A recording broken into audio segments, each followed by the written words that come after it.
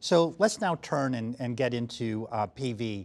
And uh, Rami, I'm going to turn to you to talk about some of the signs and symptoms these patients um, present with and the uh, initial clinical workup that we should be doing. Right. So I think with polycythemia vera particularly, the initial presentation can you know, be very variable.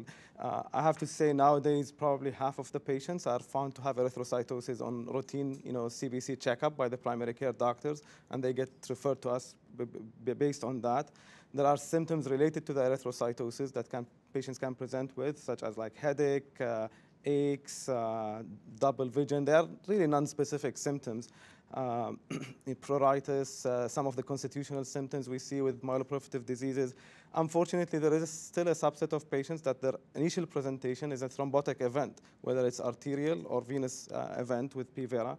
And you know, the initial workup had become a little bit easier in a way with all those molecular testing, but it's always the task of distinguishing a primary polycythemia vera from secondary erythrocytosis causes. We still see some challenging cases that you know all the molecular testing is negative for those patients, and we don't know if we can label them as P vera.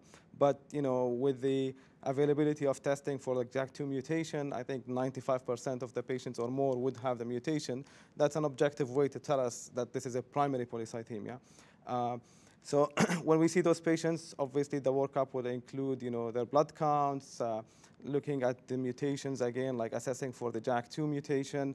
Um, I still do bone marrows on those patients as a baseline personally, uh, partly because I think down the road, if there are clinical changes, one would like to have a baseline. Uh, in diseases such, you know, ET and myelofibrosis, I think it's important to try to distinguish a prefibrotic MF from ET.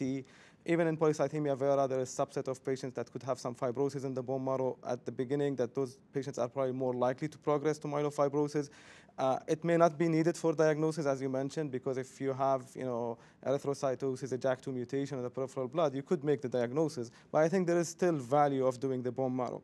In terms of the risk assessment, I think we've, for many years, looked at the risk assessment in terms of risk of thrombotic events. So we look at, you know, uh, traditional risk factors such as, you know, age and presence of prior event, whether the patients had like a stroke or MI or like DVT.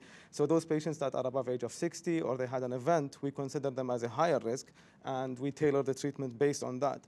I think we've learned a little bit more in terms of risk assessment that there are other variables that are important, such as, for example, leukocytosis uh, that could be predictive of outcome in those patients, uh, whether it's risk of thrombotic events or prognosis in general or progress, progression of the disease. Uh, the, the, the, mutations we see, for example, the uh, variant allele frequency of the JAK2 mutation you know, in patients with P. vera, uh, those that have homozygotic mutation may be at higher risk of progression to myelofibrosis. Uh, certain mutations such as IDH1, IDH2 can predict progression to leukemias. So I think we are becoming a little more sophisticated.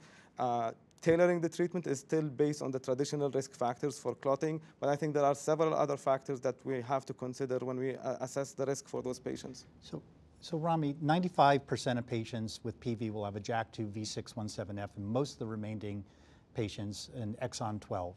Um, but we also know that the fourth most common mutation in clonal hematopoiesis of indeterminate prognosis can be a JAK2 mutation. Does allelic frequency help you in distinguishing CHIP from true PV? Do we use this at all? I think it, it does because like in most of the patients with PV, the variant allele frequency will be at a higher level than what you expect to see with CHIP because typically with chip, you know, it's the, the VAF is usually in the 10 to 20% range and also absence of other mutations. So in, in in CHIP, you are not supposed to see, for example, a JAK2 and TET2 mutation, right? So if there are a couple of mutations, those will tell you more that this is probably not CHIP. But I think the, the VAF could be helpful.